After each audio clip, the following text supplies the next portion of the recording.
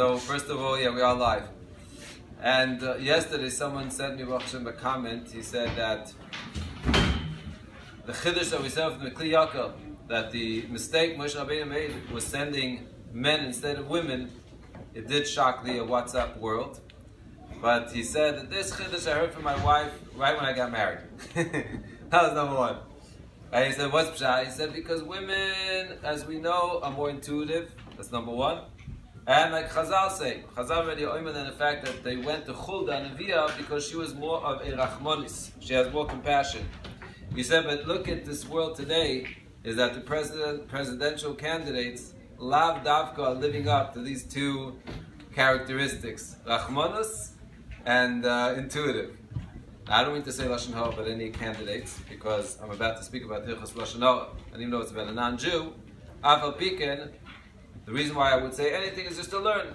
My wife pointed out. She said, "Look at Mamish. You should take a look at a, a, lady that's about to be possibly the president of the United States, and to look does she have the midas of uh, that we're looking for in uh, in an isha, rachmanus, intuitive, emeskite. Anyway, dai the chakima berumiza. Okay, now hilchas lashon hara is something definitely that we could focus on this week. It's it's absolutely fascinating how many tefillahs we make and we daven, and how many times we ask, and rightfully so. We should be surprised. I used to hear from Abnech Weiman I used to say, if a person davens and he does, and his tefillah doesn't get accepted, he should be shocked. How many people are shocked when their prayers are not received?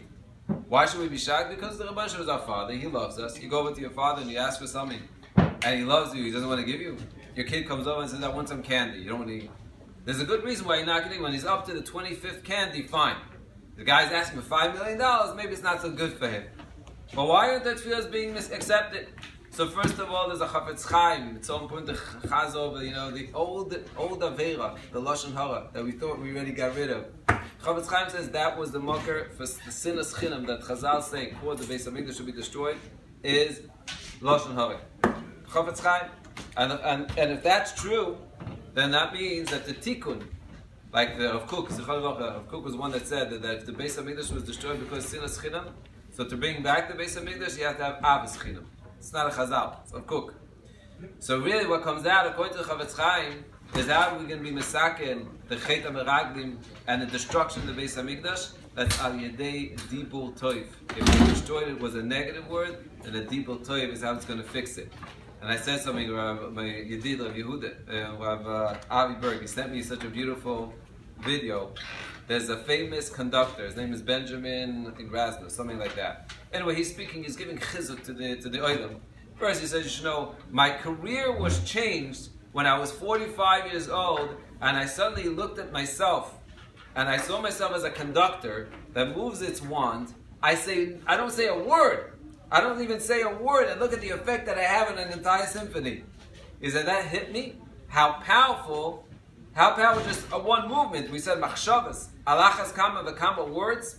And then he ended off the talk is I want to tell you and share with you something that I heard from a survivor of Auschwitz. A lady told me this. She said, I was 15 years old. I'm standing in Auschwitz. I'm standing with my brother who's eight years old. And we're about, we're in line. And I look at him. And I saw that my brother wasn't wearing shoes. It's like a good old sister. Naturally, I started saying, You're not wearing shoes? Come on. You're always, you're always missing your shoes. And then right afterwards, we were pushed ahead. And he went to the right, I went to the left. Basically, I didn't see him ever again.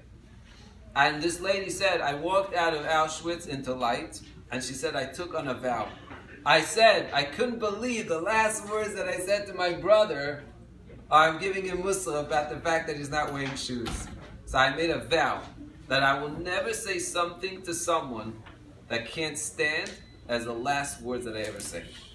And I think about this so many times when I speak to my kid, a person speaks to his kid, his spouse, speci- specifically his spouse and his kid, yeah, everyone else too.